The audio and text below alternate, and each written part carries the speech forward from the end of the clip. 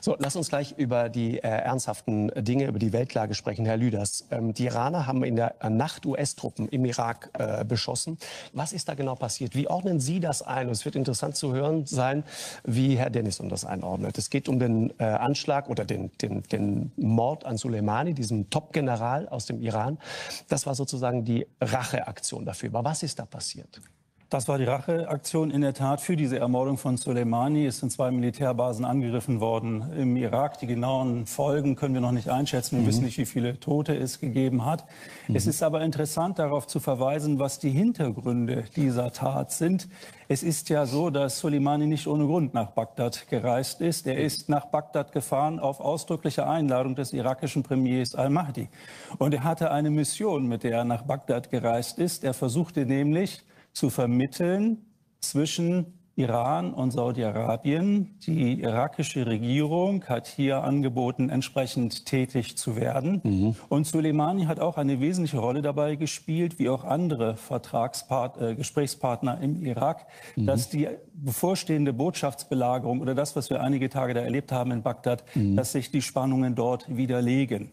Und obwohl er nun sozusagen in friedlicher Mission, wenn ich so sagen darf, nach Bagdad gekommen ist, haben die Amerikaner die Gelegenheit genutzt, ihn in Bagdad zu ermorden, was natürlich ein beispielloser Affront ist. Ich mhm. meine, es ist ein ganz klarer Mord, juristisch besehen. Mhm. Und vor allem, wenn man sich vor Augen führt, dass er versucht hat, die Spannungen in der Region äh, zwischen Iran und Saudi-Arabien zu reduzieren, gemeinsam mit der irakischen Regierung. Just in dem Moment wird also jemand der diesen Versuch startet, ermordet. Und das hat natürlich einen Hintergrund. Ja.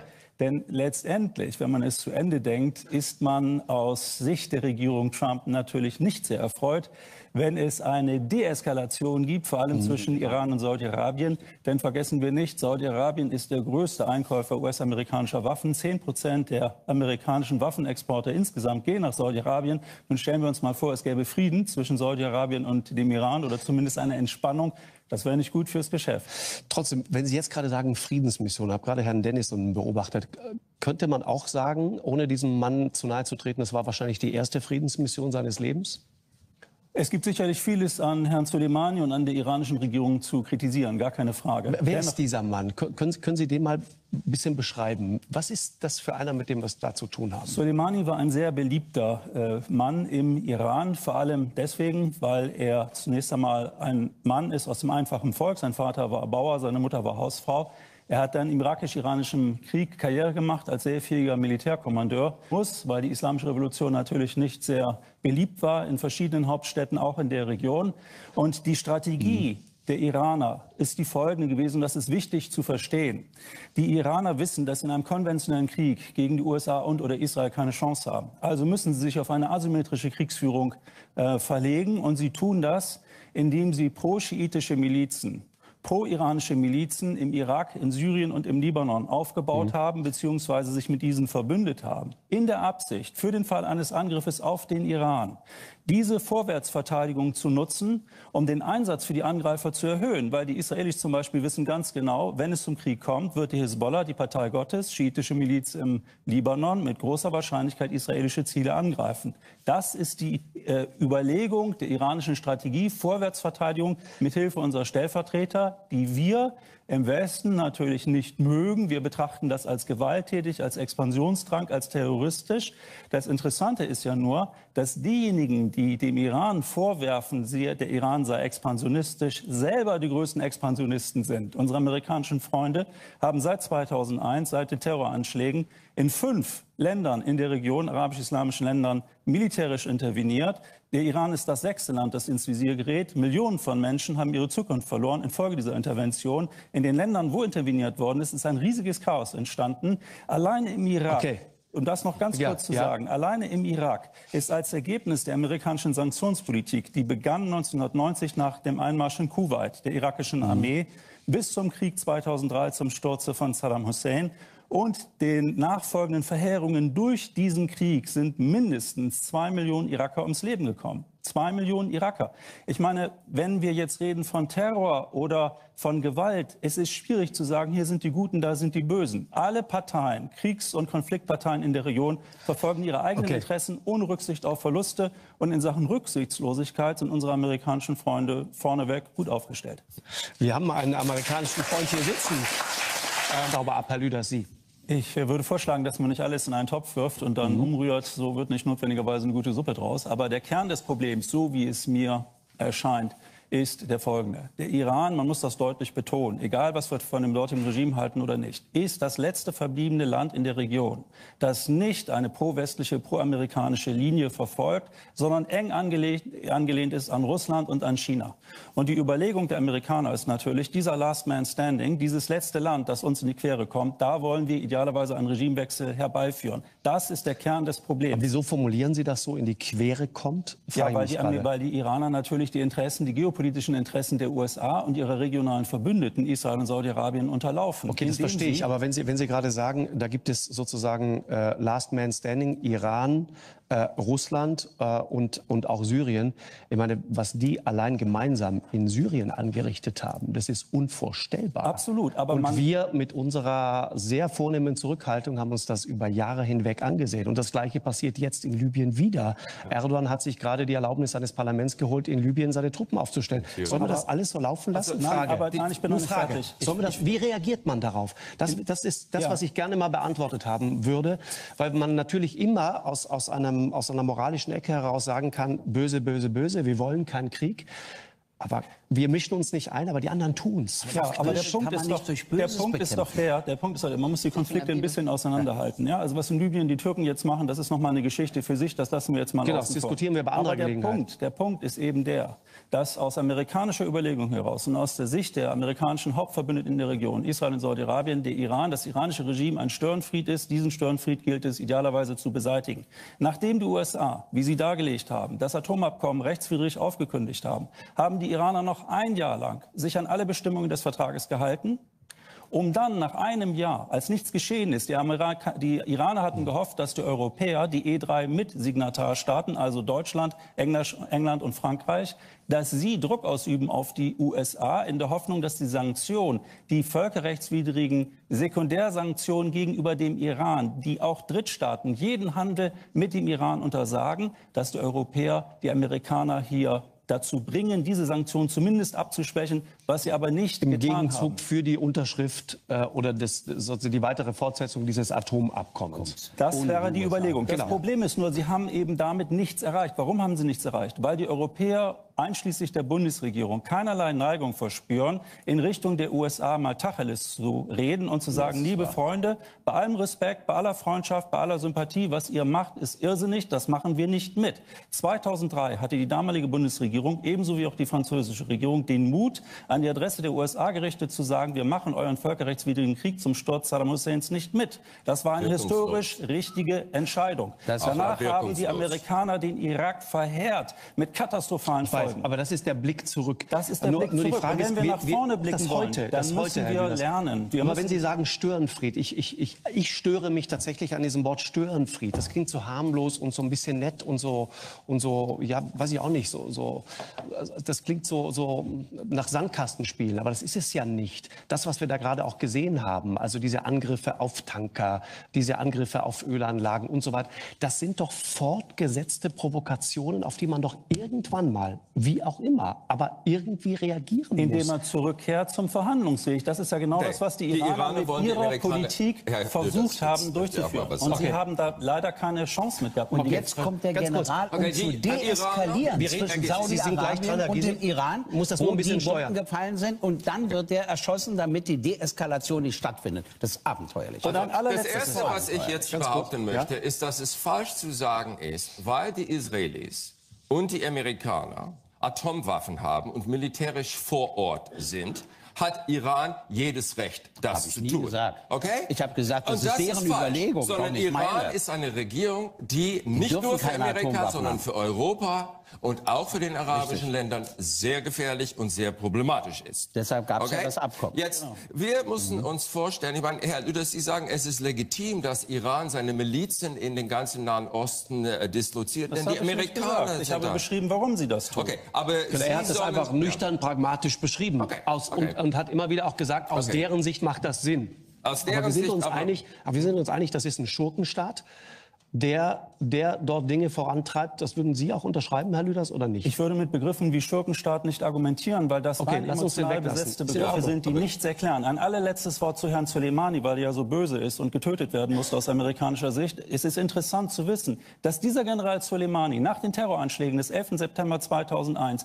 mit den Amerikanern gemeinsam in Afghanistan strategisch überlegt hat, wie man die Taliban bekämpfen kann. Die haben zusammengearbeitet und die Zusammenarbeit endete in dem Moment, wo Präsident Bush den Iran Iran auf der Achse des Bösen verortete. Zusammenarbeit gab es auch in den letzten Jahren. Es hat auch amerikanische Generäle gegeben, okay. die ihn, Soleimani, in Bagdad ja, getroffen haben, was aber meine, heute nicht mehr ja begründet wird. Okay. Was, was also warum hat die, die Verlogenheit Bush, in der ganzen Geschichte? Doch, Herr ganz kurz. Warum hat, äh, das sind natürlich jede Menge Punkte und das ist eine Art Rhetorik. Man entlastet der eine, der werft der andere was vor und dann hört man nicht auf, die Punkte zu geben. Jetzt, es stimmt, dass die Iraner immer wieder mit Amerikanern zusammengearbeitet haben, auch im Krieg gegen Irak. Denn die Amerikaner, nach sie 48 die Macht oder die Verantwortung für diese Scherbenhaufen im Nahen Osten übernommen haben, mhm. ja, weil sie wussten, das ist gefährlich dort und hatten eine gewisse Verpflichtung an Israel, haben sie oft und auch, eine Böse ums, gegen den anderen auch weil es ums Öl ging, können wir auch noch ja, mal dazu Öl sagen. Auch, aber guck mal,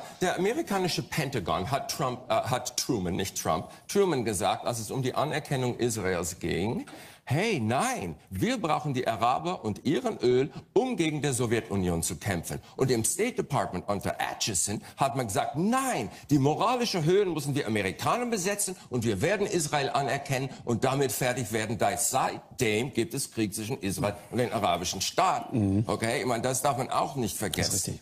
Jetzt, also das... Ähm, das mit äh, der Zusammenarbeit mit den Iranern, es kam immer wieder. Auch in der Kampf gegen ISIS neulich sprach man von einem Suleiman-Moratorium. Das heißt, erstmal kämpft er mit uns gegen ISIS. Aber sobald ISIS weg war, hat er, und das haben wir in Ihrem Film gesehen, Herr Lanz, seine Kanonen gegen die Amerikaner gerichtet. Denn für Iran ist nichts Wichtigeres, als Amerika als Irak zu treiben und dort selbst Einfluss auszuüben. Genau wie die Sowjetunion Amerika immer aus Europa treiben wollte. Ja, und die könnten das nicht. Aber auch heute wollen die zwischen Amerika und ähm, Europa spalten, mhm. Spaltung verursachen. Schau mal, wie Putin ganz schnell nach Damaskus geflogen ist, um daran zu wirken. Und ich warne die Europäer davor, jetzt hier auch ein bisschen gespielt zu werden. Aber das Wichtigste ist äh, zu sagen, wenn wir an Prinzipien glauben, auch an Israels Existenzrecht, dann können wir nicht einfach sagen, wir sind ein Rechtsstaat und da draußen, die sind rechtslos, aber wir kämpfen nur mit rechtsstaatlichen Mitteln.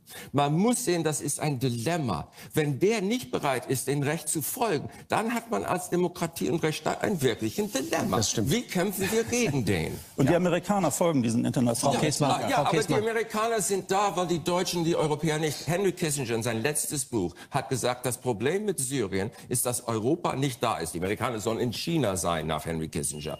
Dass die, Amerik dass die Europäer nicht da sind, aber er sagt, die Europäer können sich nicht einigen, um Einfluss ausüben. Hm. Ob Scheckbuchdiplomatie oder Kanonenbootdiplomatie. Ja. Es kommt nichts von Europa. Und das ist vielleicht Amerikas großes Problem auch. Nur, nur zwei ich würde Sätze. auch nur sagen, dass die Entfremdung, um die es jetzt geht, dass Sie sagen, die Entfremdung zwischen Europa mhm. und Amerika, die de facto da ist, dass ja. die stattgefunden hat, weil der Iran oder Russland da treibend sind, um diese Entfremdung äh, ja, überhaupt zu, aufzubauen. Mhm. Und da müsste man doch mal fragen, hat diese Entfremdung nicht stattgefunden äh, durch die Rhetorik Donald Trumps? America ja, first. Wenn es nur um Amerika geht, ja. äh, America first, dann haben europäische Beziehungen auch keinen Wert mehr, dann hat Diplomatie keinen Wert mehr. Und ich denke, denke, dieser ganze Vertrag ja. ist durch lange, lange Diplomatie zustande gekommen und wird mit okay. einem, äh, einem Federstrich von Donald Trump da muss ich ja. entscheiden, die, was das, das ist ein Ergebnis von Demokratie. Ja. Aber es ist ein Punkt. Also, ja. dieser Vertrag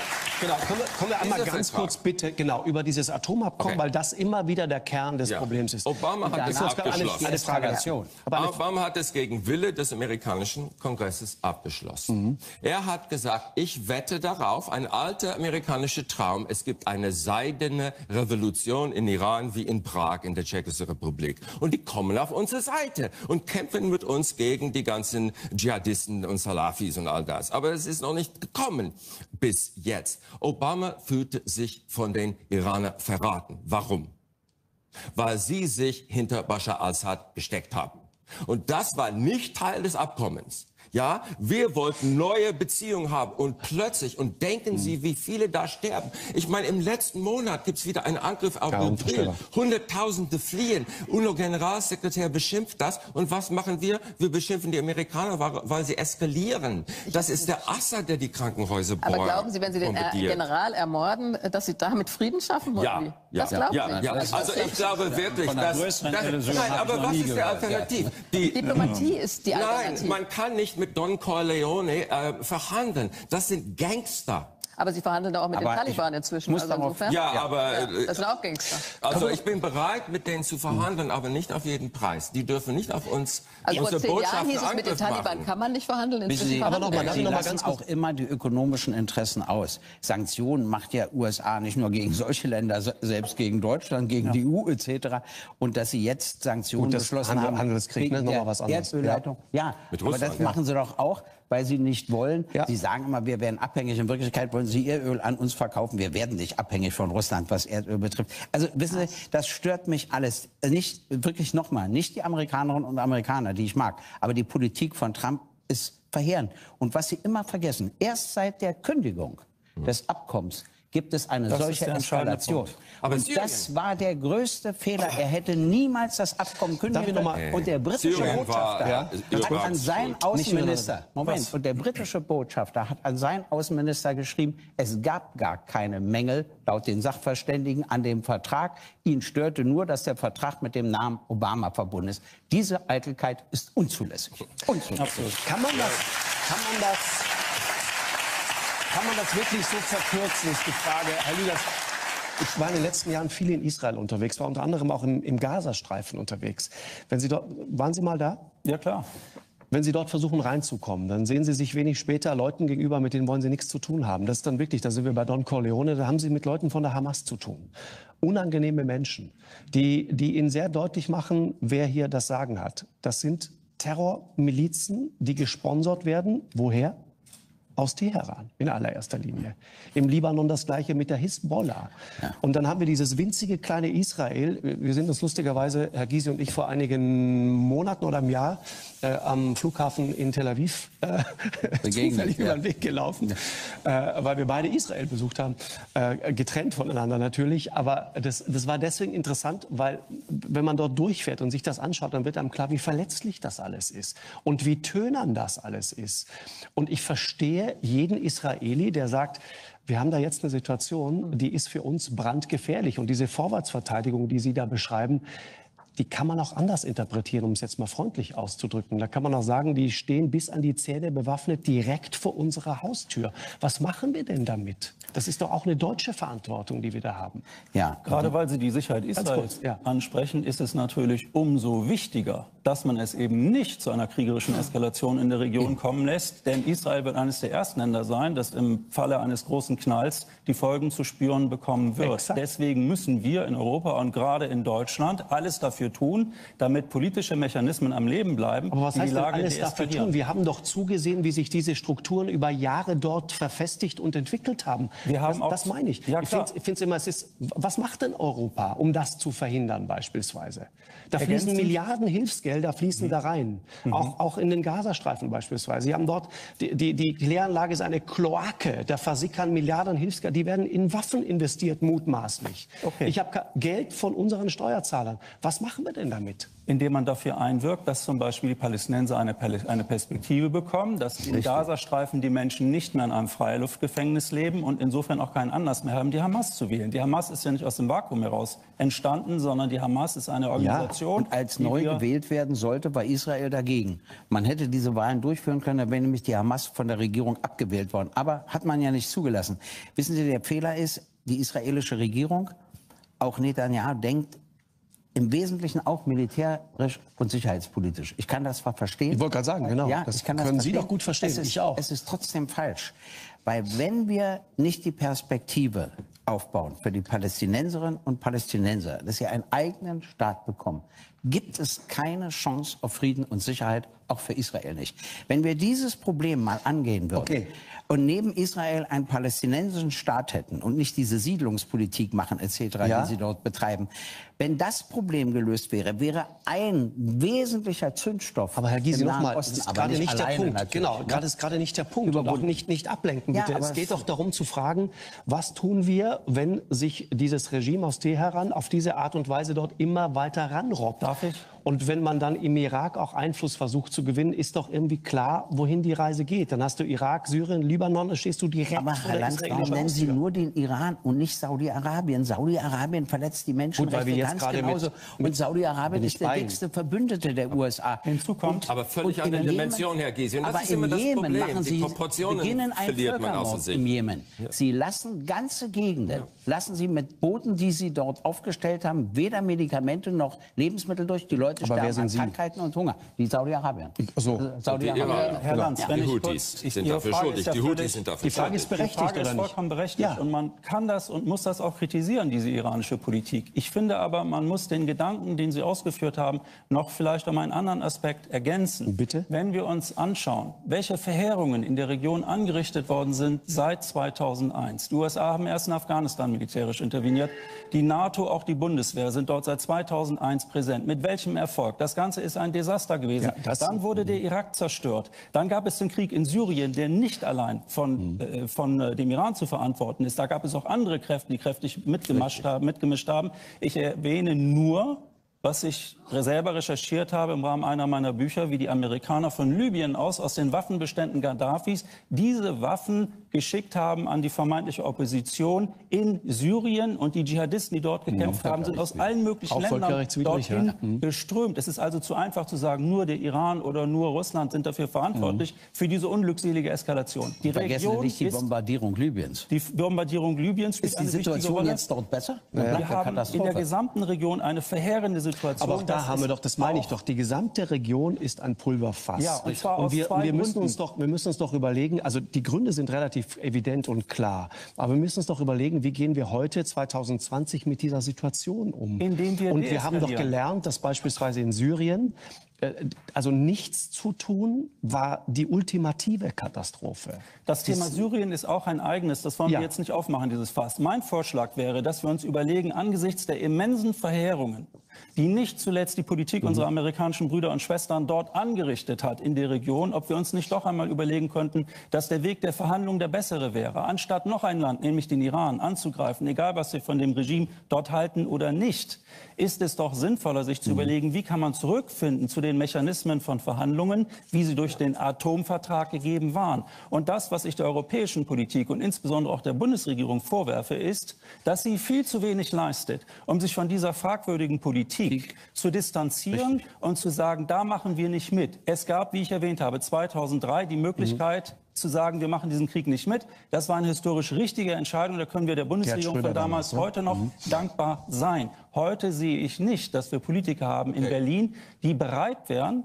wenn es wirklich zum Äußersten kommt in der Region, die rote Linie zu ziehen. Wenn es zum Krieg kommt in der Region, werden die Amerikaner mit an Sicherheit grenzender Wahrscheinlichkeit den NATO-Bündnisfall ausrufen. Die, und dann möchte nein, ich mal aber sehen, Israel wird angegriffen es, und das dann wird möchte ein Problem ich, Dann möchte ich mal sehen, aber Herr Lüders, Sie haben sehr viel zu sagen, aber Sie haben auch sehr viel geredet und ich finde, ja, das ist eine Methode, die Sie oft benutzen. Ja, danke schön. Aber ich möchte gerne noch... Nein, das ist wirklich wahr. Also, klar geworden, Herr Lüders, ganz kurz. Ich möchte Sachen genau. Herr Lukas, bitte einmal ganz kurz. Ganz kurz, ganz kurz will ich nur noch erwähnen. muss man auch bleiben. Es ist wichtig, dass die ja. Bundesregierung einen eigenen Weg geht, gemeinsam mit der Europäischen Union. Sonst sind wir irgendwann an einer Situation des Mitgefangen, mitgehangen. Und ich möchte nicht, dass Europa und Deutschland einen Krieg in der Region an der Seite der USA führt, für die Richtig. wir am Ende den Preis zahlen werden, nicht zuletzt in Form weiterer massiver Flüchtlingsbewegungen. Den Preis zahlen wir ohnehin. Ja. Äh, also, letzter, letzter Gedanke dazu, bitte.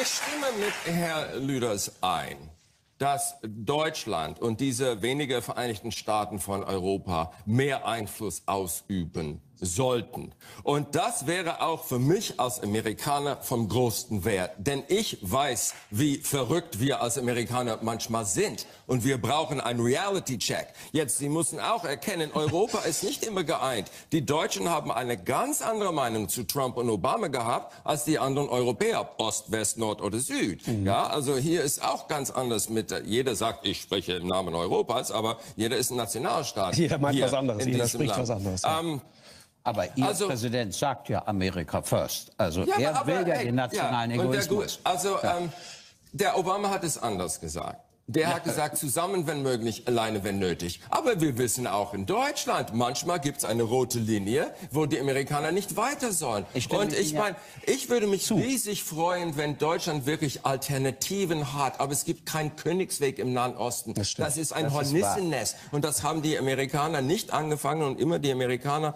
dafür schuldig zu machen, führt zu eines. Die Amerikaner hauen ab und sind nicht mehr da. Und so mhm. schlimm es ist für die Europäer, dass die Amerikaner in ihrer Waghalsigkeit und abgelenkte Art ähm, dort vorgehen und auch manchmal missionarisch, eins wäre schlimmer, wenn Amerika überhaupt nicht da ist. Denn das ist immer noch ein, ein, ein Katastrophengebiet. Und wenn Aber Europa mehr beitragen kann, Israel schützen, Frieden zwischen Saudi-Arabien und Iran, aber die Iraner müssen auch deeskalieren. Die müssen auch aufhören. Aber wir sind uns in Syrien. Einig, dass Frau Merkel einmal sagen sollte, sollte, no, Mr. President. Ja, aber, aber, ja, aber was... Das doch Zeit, dass das er Problem den ist, ja? ja. Aber welche, Überzeug welche Hebelkraft hat sie? Denn guck mal, Amerika genau, bietet für Weltexportmarkt Deutschland offene Meereswege. Wir haben Dollar. Wenn der Euro stürzt, ist der Dollar immer da. Ohne Dollar gäbe es keine Handelsmacht Deutschland.